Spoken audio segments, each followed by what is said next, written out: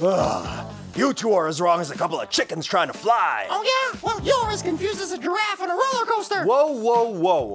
What's all the fuss about? The kidneys think we only use 10% of our brain.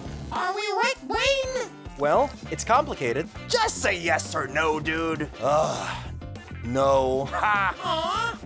I'm always active, guys, but not all the brain is used for the same tasks. Some of it is used to process vision or hearing or the storage of memories, and of course, controlling our motor functions. But you can't always be at full capacity, right? Let me put it like this when all my parts are working together in a highly synchronized and efficient manner, I'm working more efficiently, but I'm always at full capacity. Aha! So we are kind of right. You two are so dumb. Hey, brain, but why are some people smarter than others? Well, that's because I can adapt depending on the experiences and information I receive. I am not a static organ, you know. Have you heard of neural plasticity? Neural what?